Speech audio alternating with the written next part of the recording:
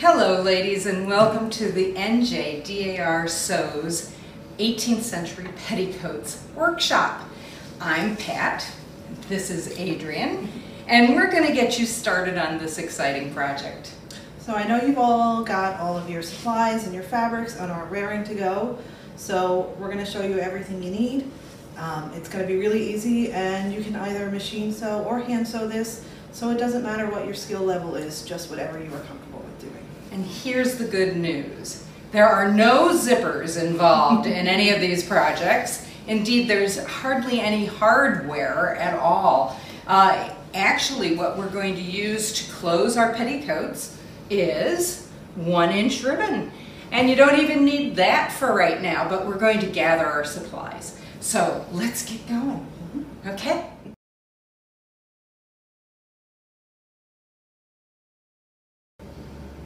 Hi ladies. So we are going to get started and our, the things we need to gather together include your measurement sheet, some measuring tools, your bum roller panier, the one inch ribbon, and the fabric for your skirt. Oh, don't forget your scissors too. So first let's look at your fabric. If it's a solid colored fabric, you can kind of just pass by this whole section. Or if it's a, a fabric that has a tiny and very intricate print. Because what we're going to talk about now is matching our patterns so that it looks beautiful when it's put together, like matching wallpaper. So this kind of tiny print, there's a seam here, right there, and it's almost invisible to see because the print itself is so tiny that your eye is not drawn to the, the seam itself. However, if you're working on a bold print like this or on a plaid like this, anything that isn't lined up right is lined up wrong. So I'm going to show you an example of a finished piece. This is a petticoat that I've had for many years. A very busy pattern. But if I hadn't matched perfectly along that seam line, making sure that each and every arcade and rose was lined up, it would have looked like bad wallpapering. We don't want that. Okay, so let's show you how to match a pattern.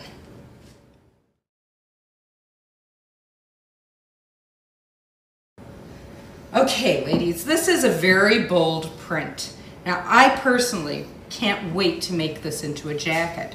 So, I know I'll be needing to match this print boldly around my body. For petticoat, it's the same thing. Like I said, it's like matching wallpaper. If it doesn't match, it's wrong. So we work off of the inside of fabric, so we're going to ignore this pretty outside and go to the inside and let that show. Now, wouldn't it be nice if this edge perfectly matched this edge? Well, let's look. Does it? No, sad to say, it does not. So, we're going to need then to, back to working on my right side of the fabric, or the inside of the fabric, fold over an edge so that I can work from that. So I'm just going to put a hard crease on this edge here. And now we will try to match it to the other side. So where will it match? So it doesn't match there. It matches here. Can you see now that that pattern is contiguous all the way up and that all of our little pieces match together? Now, having put in this hard crease here, that's where my seam line is going to be. It's going to match exactly where it's sitting on top. So I will fold out that card crease. And oh, by the way, another tool very handy to have on hand are pins. And I'm going to pin in that hard crease line in order to make my patterns match. So that's how you make a pattern match Adrian, can you help us with the plaid? I can indeed. I have here two pieces of wool. Let's spread this one out to make it a little easier to see. So as you can see, my wool is not the same in both directions, but it does have a very distinct pattern in it, especially with this very dark brown line.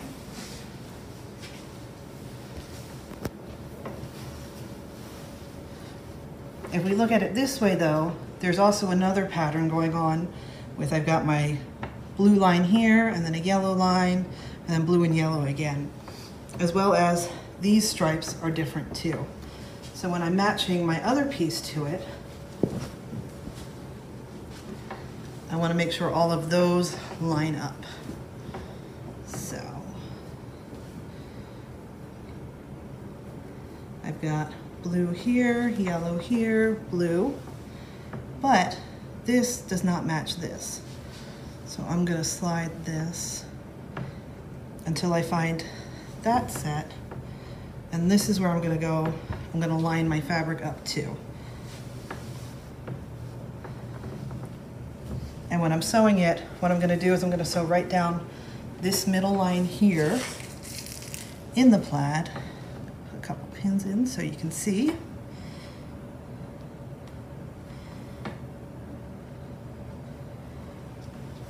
And you can fold it back and let Yep. them see it. Mhm.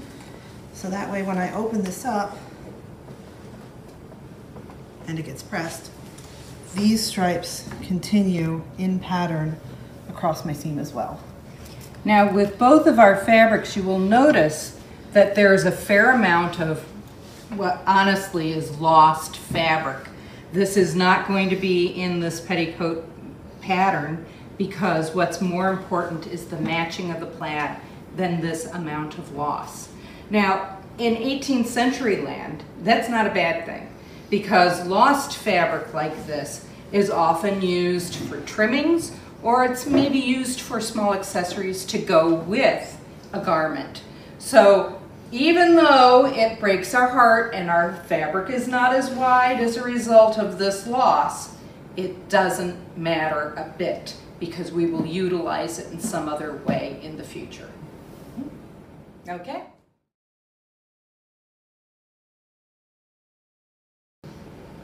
Now we've looked at our fabric and now we need to think about how to cut the garment out.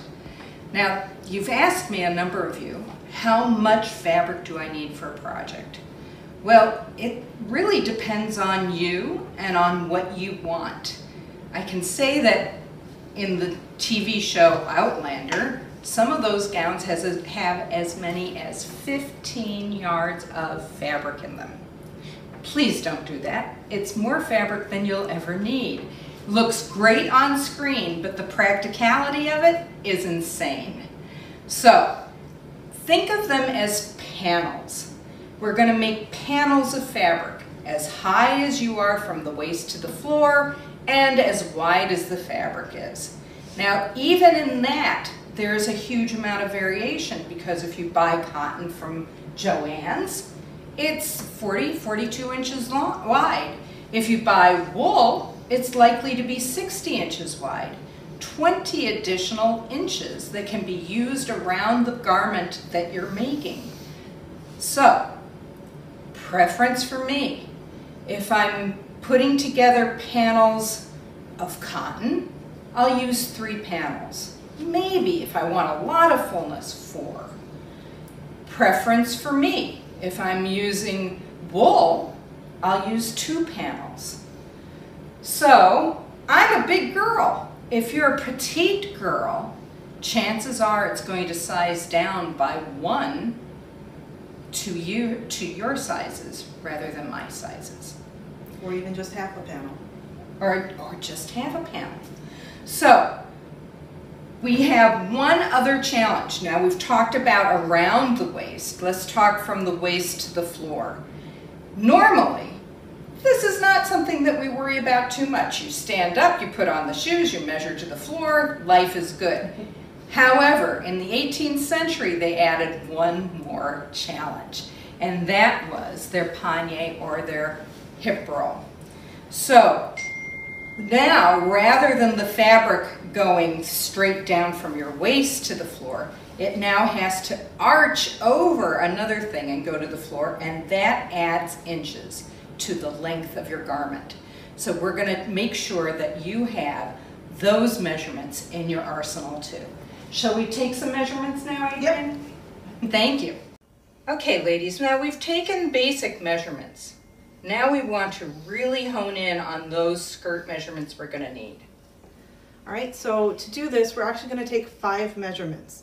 So I'm gonna start at center front and we're gonna work our way around and we're gonna go from Pat's waist all the way to the floor. And she's doing this with her shoes on to make it easier to know how far off the floor we want the skirt to be. So we're 44 inches at the center front. The next measurement I'm going to take is from where her hip roll starts. And of course you wouldn't wear your hip roll on the outside. No, this it would be just an illustration. so this is 46. Then at the side, we are at 48 inches. And then we're still at 48 at the side back. And then at the very center back, we're down to 46 inches. So the side, the side length is the longest, but that's not unusual because wider at the hips versus front and back is very common for the 18th century. So that's what we'd, we'd expect, that the side length would be longer than both the front and the back. It's all about the hips, girl. It's all about the hips.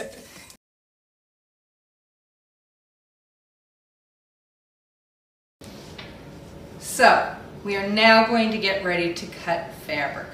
But of course, I have to talk to you a little bit more. Now, my petticoat that I'm going to be cutting is a rather extreme example. It has a band at the bottom of a contrasting color. I want to make sure that when that petticoat is made, that that band sits flat and perpendicular or parallel to the ground perfectly all the way around. And those measurements that we just took are going to help me along that way. That center front, side front, side and side back and back measurement. Now, there was a lot of variation when Adrian took my measurements. Normally in the 20th century, if there's variations because of your behind or your hips, we may add on extra length on the on the hem of the garment. In the 18th century, they didn't do that. They kept the hem of the garment absolutely on the straight of the grain flat. What they did add on was at the top of. So this is my waistline. This is where there's going to be that variation for the waist at the center front and at the side and at the side back and the, and the center back.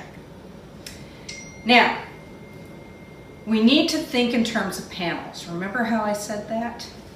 We also need to think in terms of, hmm, the ladies didn't actually wear their gowns so that the skirt hit the floor. Well, maybe Marie Antoinette did. She but, couldn't afford to have them cleaned by someone else. Or she just wore them once. we are more practical ladies, and so were those ladies in the 18th century. So they would wear their skirts a number of inches off of the ground. If you're a petite woman, three inches off of the ground is a fairly high amount.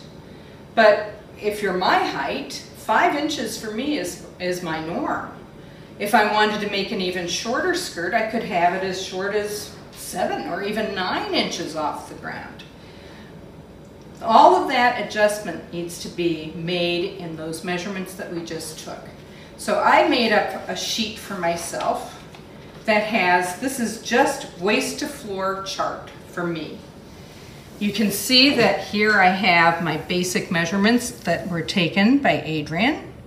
Then I have a column for three inches, five inches, seven inches, and nine inches off the ground. But on each of those, I've also, though I've subtracted, I've also added an inch and three quarters the inch for the waistband, and three quarters of an inch for the hem. So once I have those measurements that I know I'm going to do, I'm going to do a five inch off the ground skirt. My longest measurement is 44 and a quarter inches. I'm going to rough cut my panels. None of my panels are going to be any shorter than 44 and a quarter. Actually, I'm going to cut them as much as 45 and a quarter so that I know that I can get my measurements out of here. So rough cut your panels and then join me back here and we'll do the waistband. Having rough cut our pieces, I'm now going to give you the biggest hint I can give you for my vast years of experience. Label them. This is the center front panel for my piece. This is the center front pin and I have now labeled it and I always am consistent to label on the right side of my fabric at the top of my garment. This sounds really stupid. It's very obvious with this, which is top and bottom. But this pattern gives you that hint. If you were, however, making a garment out of this fabric, which is very similar at top and bottom, very similar from side to side. If you are not consistent and give yourself that little hint of a label, you will be riding down a murky river with no paddles. So now we're ready to cut our waistband. So the first thing we want to do is go to our chart and I see from my chart that my front at five inches needs to be 37 and three quarters inches long Adrian is lining that up for me. 37 and 3 quarters, and I've put a pin in the center front. Now, I go to my side front, and it is... Okay, I wasn't going to do that, but I will. Now, it happens that in 18th century gowns, there's usually a flat panel across the front. Mine is eight inches. That's what works on me. And all of my gowns have eight inches now. So I will measure four inches away and make sure that that's a nice flat line four inches from the center front this way, four inches from the center front that way, making a total of eight inches. I will also look at my side front measurement and discover that yes, it indeed is the exact same measurement. And we will measure that up. 37 and 3 quarters. And put a pin right there.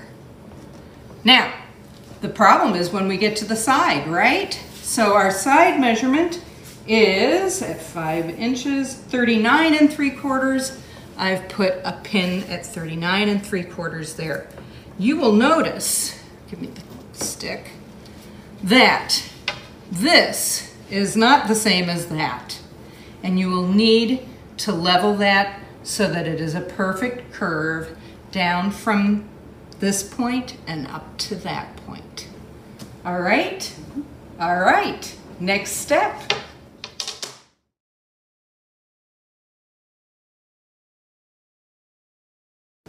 Okay, ladies, we have now cut the top edge of our petticoat and you can see that the top edge is, is beautifully curved to match my measurements.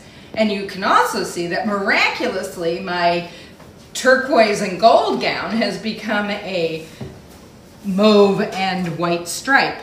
Doesn't matter, just the next step. And I might as well make two petticoats out of different fabrics than one petticoat that I can't quite finish. So, now we need to do the side seams. I have pinned here along my side seams so that I'm ready to go. But in the 18th century, a side seam was where you accessed and got in and out of your garment. Your two side seams were left open at the top in order for you to get in and out.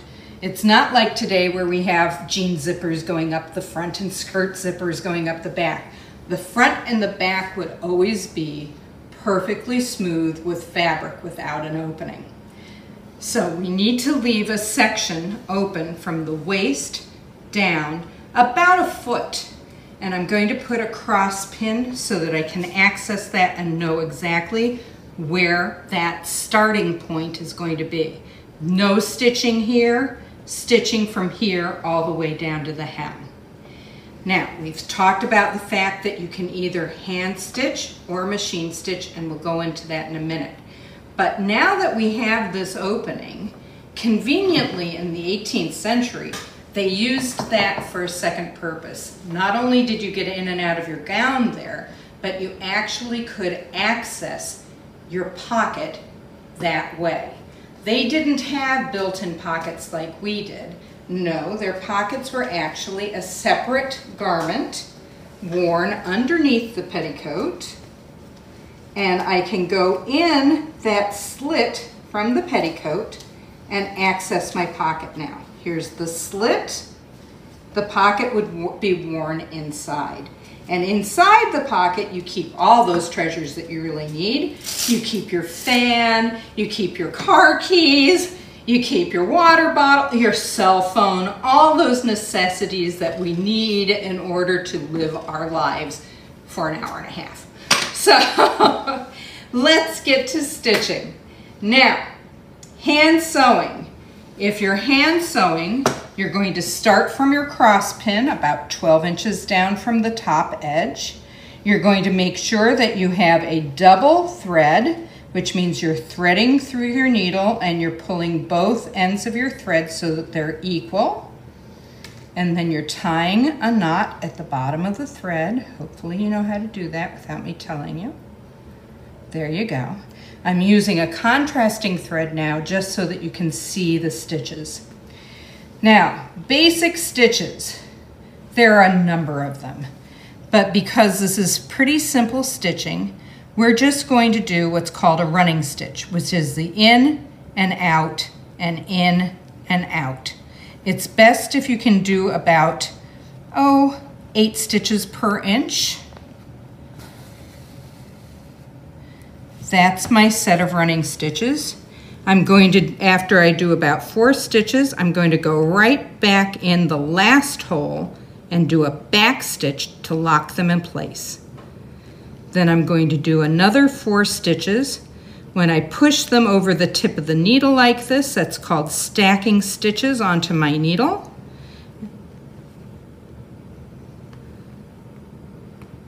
And I'm going to pull through again, make sure I don't get tangled up in that, in that pin. Make sure everything is flat. Then again, go in back off that last stitch and then do another series of four stitches.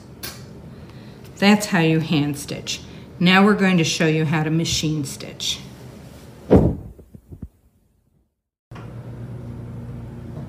All right, machine stitching. Now what you need to do is make sure that your stitch length is at two or two and a half. That's two millimeters long. If you have a uh, older machine, that means you need to put eight on it, eight stitches per inch. So you line up on your seam line.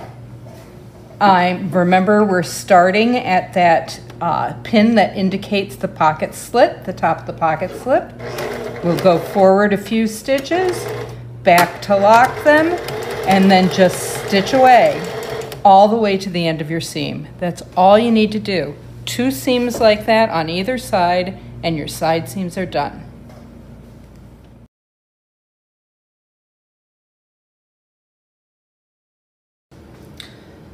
All right, so you've cut your skirt, you've sewn your side panels, you've curved up the top of your skirt, your petticoat to make sure it'll sit right. Now we need to put the waistbands on. And I say waistbands because each skirt gets two waistbands. What we're going to use for that is going to be some type of one inch or thereabouts ribbon or tape. Um, it's very easy to find grosgrain ribbon. This is a little narrow, but a grosgrain ribbon, which is that, that ribbed one with a solid edge. You can find this at any type of sewing store or even craft stores. Um, very easy to find. This one is made out of 100% polyester, so as an added bonus, you can just take a lighter and lightly melt the ends and then they won't fray as well. There's also this type of grosgrain, which is also called Petersham ribbon. This is a cotton, mostly cotton and rayon. And it, while it is ribbed the same way, it's got the wavy edge to it. So This you won't necessarily find at a place like Joann's, but you can find it online. Another option that you can find at Joann's is twill tape. This is a very light polyester twill tape. It's found with the other trims and bias tapes and things like that at a Joann's. Or, and this is my favorite, cotton twill tape. As you can see, I buy it in bulk. I used it a lot for a lot of different things. One thing to keep in mind is if you are buying a twill tape, you want it to be lightweight. You can also find belting in either cotton or polyester at Joann's, but those are generally really thick because they're not meant to be tied. This, basically whatever you want to use, needs to tie into a fairly small knot. If it's really hard to tie into a knot, you don't want to get that. The other things you absolutely do not want to get are either a sheer ribbon because it will eventually fall apart or a satin face ribbon, so the shiny ribbons, because those will not stay tied and you definitely don't want your petticoat to fall off while you're walking down the street in a parade. All right, so you've picked out what you want to use for your waistbands. Now you need to cut the pieces for it. And what you need is for each one, and remember we're, we're doing two of them, you need your full waist measurement plus 24 to 36 inches because you want to be able to tie each one around your waist. I've already cut this one off of my spool, so it is my full waist measurement plus enough to make a, a tie. First thing we're gonna do is we're gonna fold it in half and mark where the center of the tape is. And I've already got my pin to mark that here. Now, this is only going to attach to half of your petticoat, so the next measurement we need is half of your waist plus one inch. Each of these are gonna be an inch longer than half of your waist because you want your petticoats to overlap just a little bit at the side. This will help make sure you don't get any gaps there and it'll just look better visually.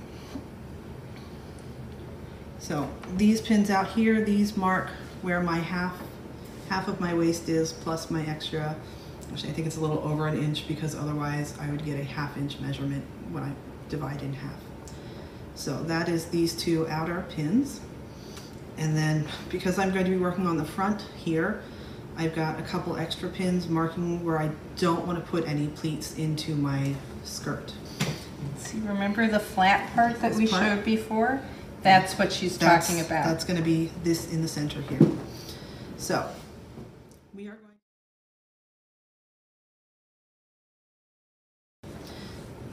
Now, you heard me say pleats. I promise these are not going to be scary pleats. We are going to use a super easy pleating method. I, if you're using a striped fabric, I wouldn't necessarily recommend this because stripes are great because you can use them to make repeating pleats and use the stripe itself to figure out where to put your pleats. But for pretty much everything else, use this. It's super easy. And it's called Divide and Conquer. So, I've got the front of my petticoat and I've got my waist tape. The first thing I'm going to do is I'm going to find my center of my front. Which I've told you to label so that you can find it really easily. But I didn't have a pin waiting in it for me, so we're just going to fold it in half and find the center front. And I'm going to pin my tape onto my center front with my tape on the outside of my petticoat.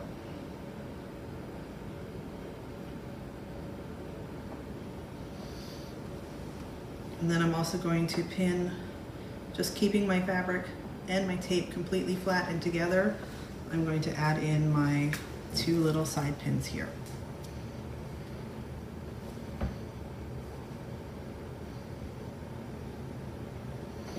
And then going to come over here to where my pocket slit is.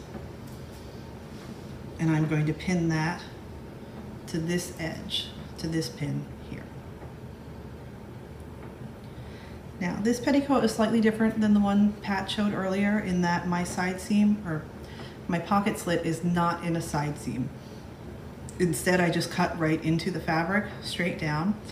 And I also added a little thread bar while I was hemming my edges because you don't want raw edges on your pocket slits. Let's see if we can get this flat.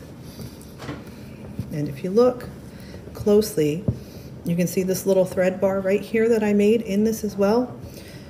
Another thing you really don't want when you're wearing your petticoats is you don't want to catch this on a doorknob and make it tear down further into the petticoat. Which it will do. Trust me, I've done that before. Mm-hmm. It's not fun. And you roll just a tiny Yes. little hem Yeah, I did to just a finish tiny little that hem. edge. Because so I that the I- pocket Yeah. doesn't get any wear on the fabric as you lift your hand in and out. Because I don't want that to fray out further either.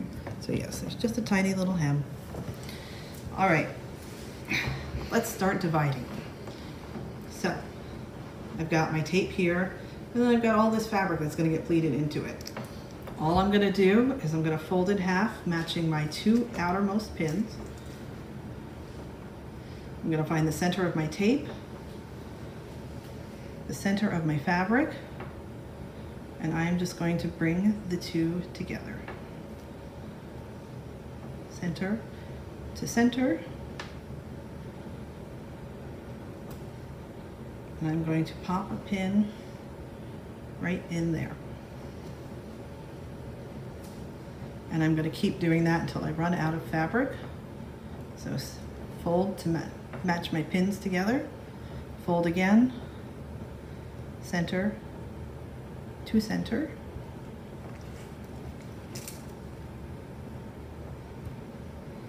And add a pin.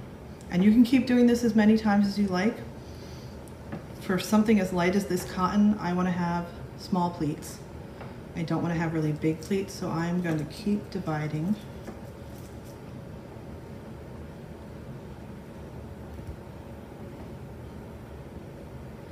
And the other thing that's really great about this is you always end up with the same number of pleats from side to side. Because you're always just dividing in half. And you're not going to end up with an odd number of pleats. This will be even. All right, so as you can see, I've now made four little sections. They're not perfect, but don't worry about it. 18th century pleats weren't perfect either. so once I have this done, I would do this for the entire section here. Then comes the pleating part. So I'm gonna turn it to the inside. See how I've got these little loops of fabric sticking up here? These are what are gonna become my pleats. So I'm gonna tug them all the way to one side so that I've got fabric flat against the band and then just fold it back over itself.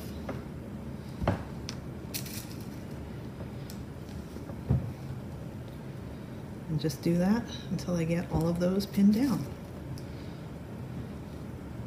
They're kind of like they're lying flat right against the band, right, mm-hmm. Adrian? Yes. So let me show with a slightly bigger section of fabric so it might be a little easier to see. So this in half once.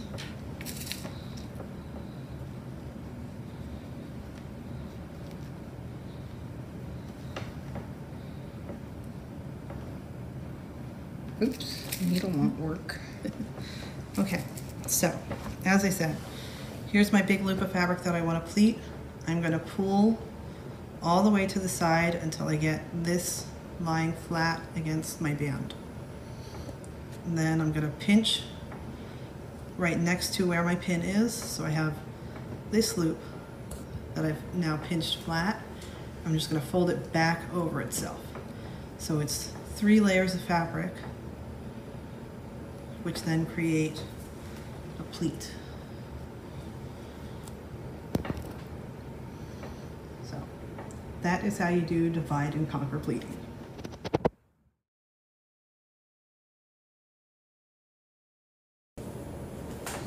Okay, so once you've got all of your pleats pinned into place, what you're going to want to do is sew them down. And again, this can be done either by hand or by machine, it's up to you. I have already done that on the back of my petticoat And I have done two lines of stitching as well. I've done one, which is a little bit easier to see, which is about uh, a quarter of an inch away from the the bottom edge of my tape. And then I've got a second line of stitching that is as close to the edge as I can get that. And this is just to help stabilize the seam and make sure that in the future it doesn't start to pull out from the waistband because you definitely don't want this escaping. There's a lot of stress on waistbands too, and sometimes you step on a hem. There's lots I've- of things I've- that happen. Especially if you are sitting on the floor and then try to get up, because I have stepped on my skirts many times doing that. so, once this is done, there are two ways to finish this. This is a very lightweight cotton, so what I'm going to do is fold the entire tape into the inside and then stitch it down. This can be, you can either tie, top stitch it with your machine, although your stitching will show, or you can go from the inside and just very lightly catch it by hand, and then it won't show up anywhere near as much. Now, I've got a bunch of fabric here that I don't want sticking out, so I'm gonna trim it down a little bit. I'm gonna try to aim for trimming down only about a quarter of an inch or about half of what's here. I highly recommend if you have them to use pinking shears rather than regular scissors to trim this down. It'll help keep it from fraying out. Or you can use Fray Check, which is something you can find at Joann's or, or Michael's or any kind of craft store, which is basically a, a really, really liquidy glue that you apply to fabric to help keep it from fraying as well. So, as I said, once that's done, either fold it fully in and stitch it, or perhaps you're using a slightly heavier fabric, like I've got, this is a petticoat I'm working on out of what is called a matelassé fabric, which is basically an imitation quilted look. This is super heavy, so once it's pleated and made three layers of fabric here, I then don't want to fold it over again, making six layers of fabric in my waist. So for this, finishing this, I would again trim down my excess fabric and then just fold the tape in half over the cut edge. And that'll reduce the bulk at the waist. Excuse me. So as you can see, lovely half pleated, half of my petticoat waist. So we've only got one step left, which is hemming, and I'm gonna pass it back over to Pat for that. Okay, I think. I've allowed for three quarters of an inch of hem. And you might think, if you're from the 20th century, that's not very much hem because we put two inches of hem on most things. But in 18th century, the wind is actually part of the friendliness of our, our wear. And so for a lightweight hem that can be caught by the wind, it's a beautiful thing. So in order to do a three quarter inch hem, what I'm going to do is flip up this edge. I'll finger press it, just like this, using my fingernail to press it down. I will flip it up on itself one more time. And even if I took out my tape measure right now and measured you, it would say three quarters of an inch. Trust me, baby, trust me. You are going to pin that all the way around, just like that. Up three eighths of an inch, up three quarters of an inch. All the way around, and you're going to have that hem go the entire length. Once you've finished that, pre-pinning it, you will stitch it. There are any number of hem stitches. If your mama taught you one, it will work. Uh, you need only use a single thread this time rather than a double thread. Put a knot at the end of your long tail of your single thread. I, I do a cross stitch, so I have a stitch that comes here. I catch just a tiny bit from the top surface because I don't want it to show on the right side of my fabric. Then I move over about a quarter of an inch and take a nice little bite out of my pre-folded hem. Move over another quarter of an inch, take a little bite out of my top surface. Move over another three, uh, a quarter of an inch, take a nice bite. like I said, if mama has taught you a different stitch, mama's stitch is just as good. You don't need to use my stitches if mama's stitches are yours. So you're gonna do that all the way around. Now, even though I'm using a contrast fat uh, thread, you can still see that it hardly shows on the surface. So that's why you try to take as little bit of a stitch on the outer surface so it doesn't show when it's done. Once you've done that, baby, you're ready to get dressed. And we're gonna show you how to do that now.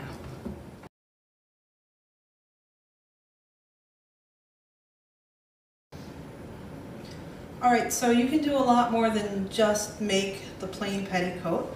Um, you see all kinds of decoration on all kinds of petticoats. Pretty much the only ones you wouldn't see a lot of decoration on would be very plain wool or perhaps linen petticoats. Or quilted. Quilted is decorated, but it's self-decorated. Right. Whereas the petticoat I'm wearing is just a plain linen one, so I didn't add anything else to it. This one that we've got right here has this very lovely little flounce at the hem. And one thing that is really important with 18th century petticoats is the petticoat itself continues underneath the ruffle. This helps give the ruffle some stability and keeps it from collapsing in on itself. And yes, it is a really busy print, but it's all about excess and showing off sometimes. It, fabric was expensive. If you had extra fabric from cutting, remember how we had extra fabrics here and there? That would have been utilized. So think about if it's appropriate to put it on, if you really want to put in that extra work.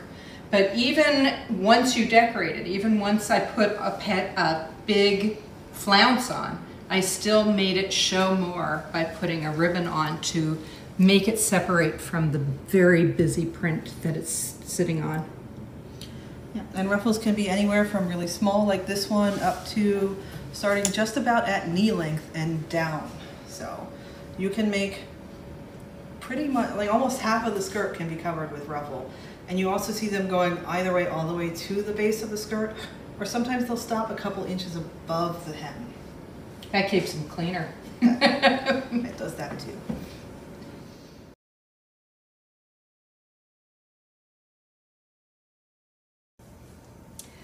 Well, you've finished your petticoat. You've done the waistband, you've done the hem, you've done the side seams, you have the trimming put on.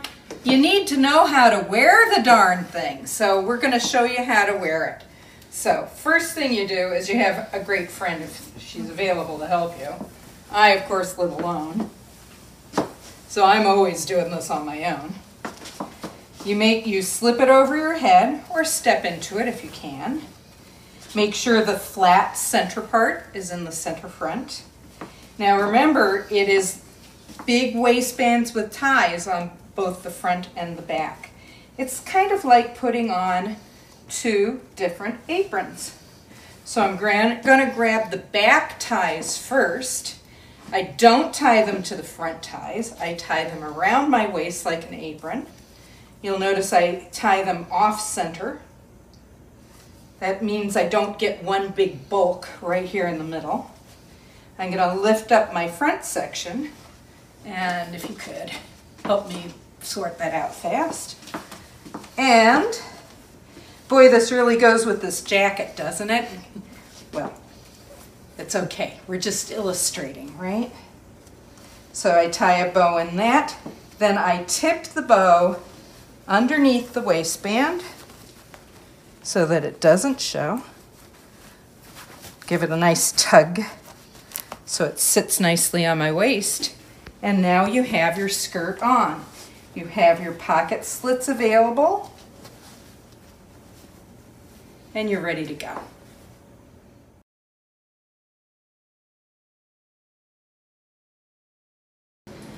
Okay, so what do you do with your leftovers if you aren't trimming your petticoat with them? The 18th century, nothing gets thrown out. And when you do have scraps, especially if they're smaller ones, these are fairly big ones, but you keep your scraps and they're actually called cabbage. Cabbage can be used for a ton of different things, like stuffing your rump if you want, or one of my favorite things to do, and that was really common, is this is a sewing kit. if it were folded a little better, it would actually fit in my pocket. It's a little dense at the moment. But this I made using a whole bunch of scraps of different silks that I had. And I have everything I need to sew in this. So each one of these is a pocket. I've got, see what I have in here. I've got, as you can see, I've got my pins and my needles here. I've got a little pair of scissors. I've got a little awl for making holes in things. I also have a couple of thimbles and some beeswax, which I use to condition my thread. As I said, I've got thread. I've got a couple different kinds of thread. I've got silk thread, linen thread. Then I've got some very narrow silk ribbon, a cotton tape, and this is a thread winder, again, with some linen thread. So this is the type of thing a woman would have on her at all times as well. And it's a great way to use up some little pieces of fabric too. And show off some of the really pretty things you've made in the past.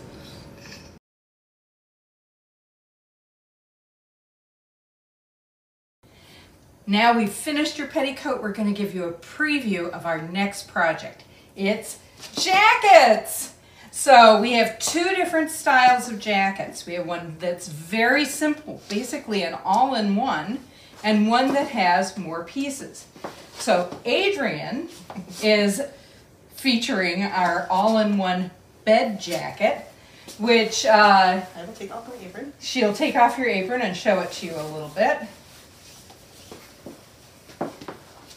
So, So you just very basic. Um, there is one seam on either side, and that is your underarm seam, and then the rest is just finishing the edges. So it is super easy to make, and it's not very tightly fitted, so you don't need to worry about maybe if you don't have stays or don't want to wear stays. This is great because it doesn't need to be fitted over your stays. My jacket, however, has five pieces. So you go from very simple to, hmm, that's a little bit more complex. Plus set sleeves. So the sleeve is a separate piece that is put in, whereas hers are all cut into the fabric in one step. So my jacket is also fairly easy mm-hmm. as long as you've done set sleeves in the past. So if you like the more fitted version, which my jacket is a little bit more fitted, you can do my version and I will make available that pattern to you. If you want to do the easy one step version, you can do that too. Both of them are legitimate, both of them are beautiful, they all work. Life is good. So we can't wait until we meet you for the next, hopefully, face to face workshop and where we will specialize in jackets. And you can remember to see us at our WordPress address. That's NJDAR Sews 250 250 at WordPress. dot wordpress.com. Follow her.